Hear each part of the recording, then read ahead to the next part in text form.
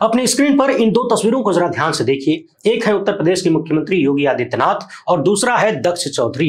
UP के वर्तमान CM के बारे में तो आप सब जानते ही हैं। उत्तर प्रदेश स्थित गोरखपुर में गोरखधाम मठ के महंत हैं।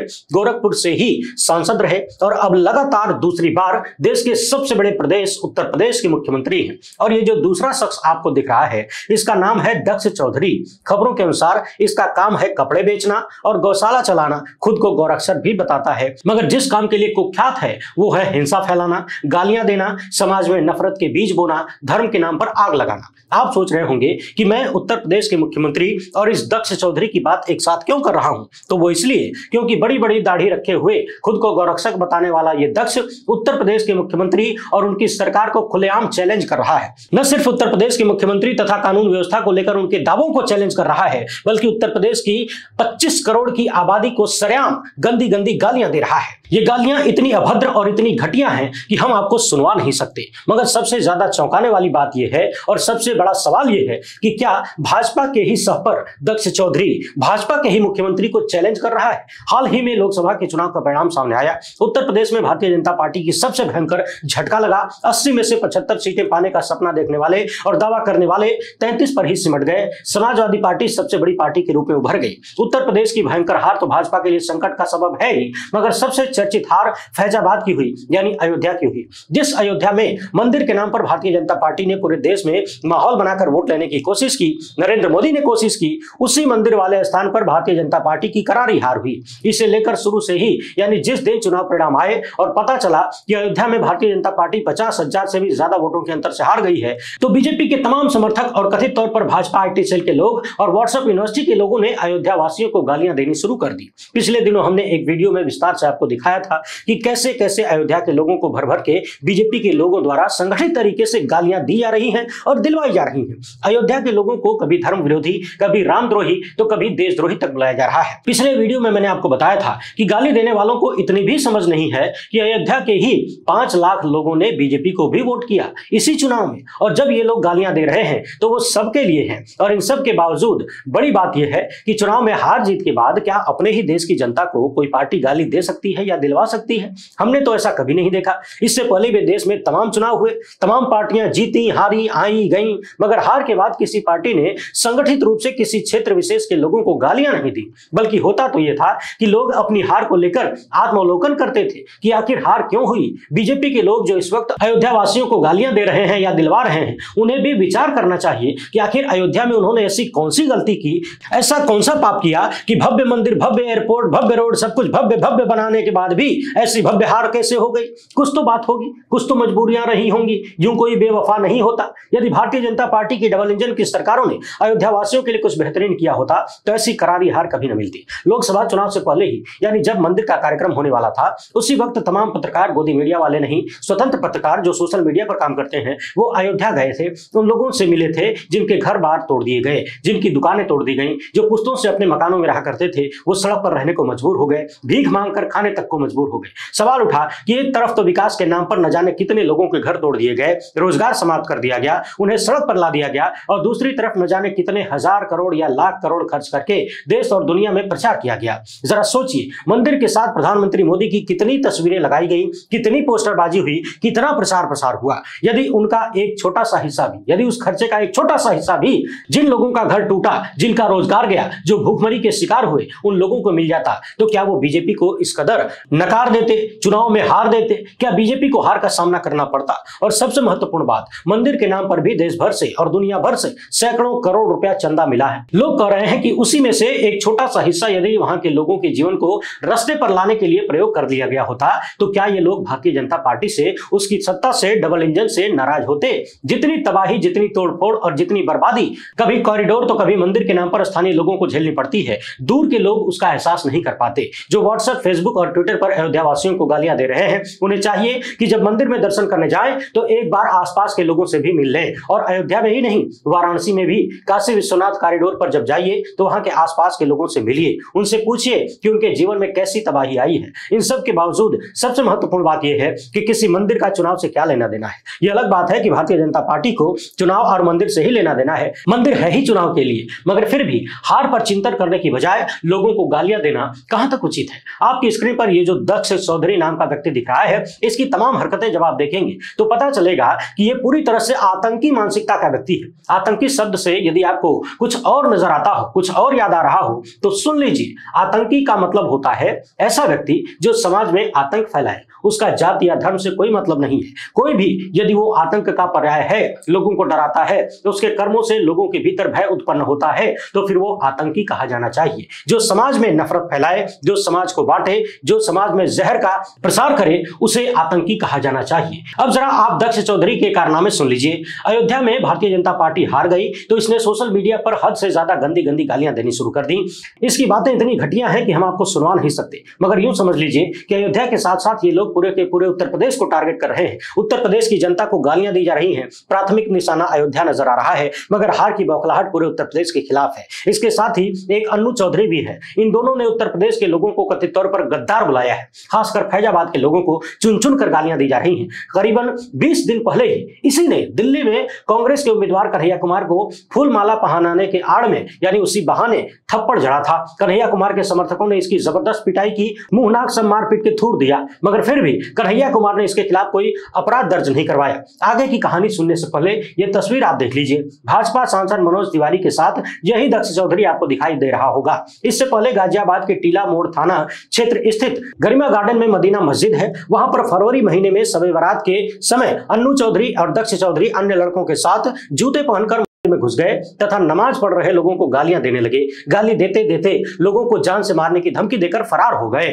पुलिस ने इन्हें इस मामले में गिरफ़्तार भी किया था। यानी दक्ष चौधरी और उसके साथियों के सारे कर्म, आपको गालियाँ देना, हिंसा, नफरत और समाज के बांटने वाले दिखेंगे। इस वीडियो को शेयर करते हुए पत्रकार प्रिया सिंह लिखती हैं कि खुलेआम अयोध्या वासियों को गालियाँ दी जा रही है। कौन है ये जाहिल? इसे तो सलाखों के पीछे होना चाहिए। अयोध्या में बीजेपी हार गई तो इसे इस तरह की गालियाँ बकने का अधिकार किसने दे दिया? पत्रकार विनोद कापड़े लिखते हैं कि ये घिनौना आदमी बहुत आसानी से नोएडा में प्राइम टाइम एंकर बन सकता है। जैसा कि आप सब जानते हैं, हमारे देश के गोदी मीडिया के लपट झंडिसों की भाषा कैसी है, कैसी भाषा का इस्तेमाल करते हैं, लगभग वैसी ही भाषा इसकी भी है। इस मामले पर तंज करते हुए नेहा सिंह राठौर ने लिखा है, क्या हुआ आईटी सेल वालों? सिर्फ़ अयोध्या के वोटर्स को ही गालियाँ दोगे या फिर इन पर भी कुछ कहना चाहोगे? इनको भी रामदोरही घोषित कर दो ना, इन्हें भी गठबंधन से बाहर कर दो ना। इसके साथ ही इन्होंने चंद्रबाबू नायडू की तस्वीर शेयर की है। वही चंद्रबाबू नायडू जो मुस्लिम तीर्थयात्रियों को एक लाख रुपए की मदद देना चाहते हैं, जो कि सेक्युलर विचारधारा के हैं और अब नरेंद्र मोदी इन्हीं की बैसाखी के सहारे प्रधानमंत्री बनने की तरफ़ बढ़ रहे हैं। पिछले दिनों मैंने आपको दिखाया था कि सोशल मीडिया पर किस किस तरह की शब्दावली, हर भाषा का प्रयोग करके लगातार भाजपा समर्थकों द्वारा अयोध्या वासियों को गालियाँ दी जा रही हैं। और इन लोगों ने तो पूरे के पूरे उत्तर प्रदेश को ही गद्दार घोषित कर दिया है। अब सवाल यह है कि उत्तर प्रदेश के मुख्यमंत्री को यूपी की जनता ने लगातार दो दो बार मैंडेट देकर कुर्सी पर बिठाया है तो क्या उसके बदले में यूपी वालों को यही मिलेगा? कोई भी सड़क छाप उचक्का उठकर यूपी की 25 करोड़ जनता को गाली देगा? उन्हें गद्दार बुलाएगा यूपी वालों को गद्दार बुलाया जाएगा। फ़िलहाल गाजियाबाद पुलिस ने दक्ष और अन्नू चौधरी को गिरफ़्तार तो कर लिया है। इनके खिलाफ आईपीसी की धारा दो ए और 504 के तहत एफआईआर दर्ज की गई है। ये दोनों ही हिंदू रक्षा दल से जुड़े हुए बताए जा रहे हैं। पुलिस ने क्या बयान दिया है? जरा उसको सुन लीजिए। इसके बाद कुछ महत्वपूर्ण बातें करेंगे। आज दिनांक 6 जून 2024 को सोशल मीडिया के माध्यम से वायरल हो रही एक वीडियो प्राप्त हुई, जिसमें मतदाताओं की धार्मिक भावना को आहत करने की नीयत से टिप्पणी, अभद्र टिप्पणी की गई है। इसके आधार पर तत्कालीन संज्ञान लेते हुए थाना टिला मोड़ पर अभियोग पंजीकृत कराया गया एवं दोनों नामजद अभियुक्तों को पुलिस हिरासत में ले लिया गया है। आवश्यक विधि कार्यवाही प्रचलित है। एक्स पर जर्नलिस्ट अभिषेक आनंद लिख रहे हैं कि सलाम है सिद्धार्थ गौतम नाम के इस अफसर को जो कुछ ही घंटों के भीतर इन दोनों को गिरफ़्तार कर लिया। सिद्धार्थ बिहार के रहने वाले हैं। अभी यूपी पुलिस में डीएसपी के पद पर तैनात है। इन्होंने हिंदू रक्षा दल के दक्ष चौधरी और मन्नू चौधरी को गिरफ़्तार किया है। आप सोच रहे होंगे कि यूपी पुलिस ने तो गिरफ़्तार कर ही लिया है। फिर यूपी की कानून व्यवस्था पर सवाल क्यों उठना चाहिए? यहीं पर बात समझने वाली है। दंगाई मानसिकता की ये लोग जो काम कर रहे हैं, ऐसा नहीं है कि इन्होंने अनजाने में कर दिया है। ये लोग आदतन अपराधी नज़र आते हैं। कभी विपक्षी पार्टी के नेता को थप्पड़ मार देना, कभी मस्जिद में जाकर माहौल खराब करने की, दंगा कराने की कोशिश करना तो कभी उत्तर प्रदेश की 25 करोड़ आबादी को गंदी गंदी गालियाँ देते हैं, उन्हें गद्दार बुलाते हैं। सवाल यह है कि यदि उत्तर प्रदेश के मुख्यमंत्री की सत्ता में कानून व्यवस्था दुरुस्त है तो फिर ऐसे लोगों की इतनी हिम्मत कैसे हो रही है? आखिर इनके भीतर ऐसा भरोसा कहाँ से आ रहा है कि ये सरेआम एक प्रदेश को इस तरह से गाली दे सकते हैं गंदी गंदी गालियों से संबोधित कर सकते हैं? इनके भीतर इतनी हिम्मत कहाँ से आ रही है कि ये इस तरह से पूरे उत्तर प्रदेश को गाली देंगे और कोई इनका कुछ कर नहीं पाएगा? बिना बिना किसी भरोसे के तो इतनी हिम्मत कर पाना बहुत मुश्किल नज़र आता है। सवाल यह भी है कि उत्तर प्रदेश की जनता अपने मुख्यमंत्री से क्या उम्मीद करे? जो मुख्यमंत्री अपनी ही जबान से आए दिन अपनी कानून व्यवस्था की पीठ थपथपाते हो, उन्हीं की राज्य की जनता को यदि कोई इस तरह से सरेआम हद से ज़्यादा गंदी गंदी और भद्दी भद्दी गालियाँ दे रहा हो तो फिर क्या ये पूरे उत्तर प्रदेश के लिए और खासकर वहाँ के शासन प्रशासन के लिए शर्म की बात नहीं है? और सबसे बड़ा सवाल भारतीय जनता पार्टी के लोगों से कि हार की ऐसी भी क्या बौखलाहट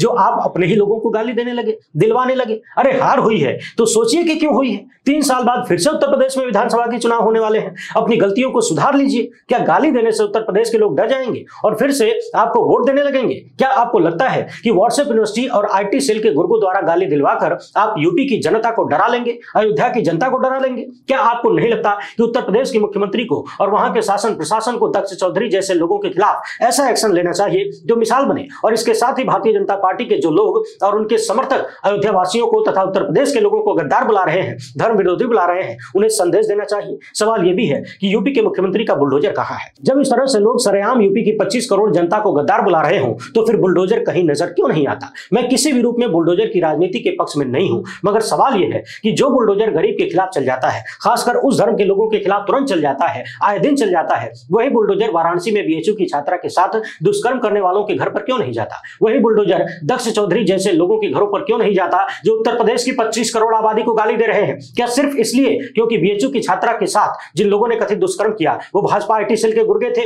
वो बीजेपी के लोग थे, और ये जो दक्ष चौधरी सरेआम उत्तर प्रदेश वालों को गाली दे रहा है, अयोध्या वालों को गाली दे रहा है, ये भाजपा सांसद मनोज तिवारी का साथी नज़र आता है, उनके साथ इसकी तस्वीरें नज़र आती हैं, एक ही मंच पर सब बैठे हुए हैं। क्या ये विचारधारा को सूट करता है भाजपा की? आप दर्शक बताइए, क्या आपको नहीं लगता कि इस आतंकी मानसिकता के लोगों को यूपी के मुख्यमंत्री द्वारा सबक सिखाया जाना चाहिए? क्या यूपी की जनता यदि अपने मुख्यमंत्री से अपने सम्मान को बचाने की उम्मीद करे तो इसमें कुछ अतिशयोक्ति है। किस राज्य के मुख्यमंत्री को यदि कहीं पर अपमान का सामना करना पड़ जाए, या फिर सम्मान न मिले तो उस राज्य की जनता, या फिर उस देश की जनता अपने नेता के लिए खड़ी हो जाती है। चाहे वो चुनाव में उन्हें वोट दे न दे, क्योंकि पार्टी अलग है और मुख्यमंत्री, प्रधानमंत्री का पद अलग है। देश के भीतर तमाम मुद्दों पर प्रधानमंत्री की आलोचना करने के बावजूद, जब भी कभी विदेशों में, या फिर विदेशों से ऐसी कोई बात आई जो उचित नहीं थी तो हम सब पूरे देशवासी अपने नेता के साथ खड़े थे, और खड़े होने भी चाहिए। तो क्या हमारे नेता को अपने प्रदेश की जनता के लिए खड़ा नहीं होना चाहिए। इस सवाल का जवाब कमेंट बॉक्स में आप लोग ज़रूर लिखिएगा, क्योंकि दक्ष चौधरी आज गिरफ़्तार हुआ है, कल गिरफ़्तार हुआ है। दो चार दिन बाद, दस दिन बाद जमानत पर बाहर आएगा, फिर से वही काम करेगा, क्योंकि इसको मालूम है कि देश में एक ऐसी फौज तैयार कर दी गई है, जो गालियाँ सुनकर आपकी फॉलोअर बन जाती है, जो नफरत देखकर आपको आइडल मान लेती है। सोशल मीडिया पर दक्ष के भी लाखों में फॉलोअर बताए जा रहे हैं। जरा सोचिए, ऐसे गालीबाज लोगों के भी लाखों फॉलोअर हैं। इस तरह के लोग भारतीय समाज को कहाँ लेकर जा रहे हैं? यह भी अपने आप में बड़ा गंभीर सवाल है। जनता से जुड़े हुए तमाम मुद्दों पर आलोचनाओं के बावजूद सभी को यह उम्मीद है कि उत्तर प्रदेश के मुख्यमंत्री योगी आदित्यनाथ, दक्ष चौधरी जैसे आतंकी मानसिकता के लोगों के खिलाफ ऐसी कार्यवाही करेंगे कि दोबारा वो ऐसी हरकत न करे और उसके जैसा कोई भी ऐसी हरकत न कर सके। प्रदेश की जनता ने उन्हें बहुत सम्मान दिया है। अपने मुख्यमंत्री को बहुत सम्मान दिया है। बदले में उनकी भी ज़िम्मेदारी कहीं ना कहीं बनती है कि वो प्रदेश की जनता के सम्मान को बचाएँ, उन्हें भरोसा दें कि वो अभिभावक के रूप में उत्तर प्रदेश के लोगों को गालियाँ सुनने पर मजबूर नहीं होने देंगे। वीडियो पसंद आई हो तो ज़्यादा ज़्यादा लोगों तक पहुंचाएँ। हमें पहली बार देख रहे हैं तो चैनल को सब्सक्राइब कर लीजिए। जुड़ने के लिए बहुत बहुत धन्यवाद। जय हिंद।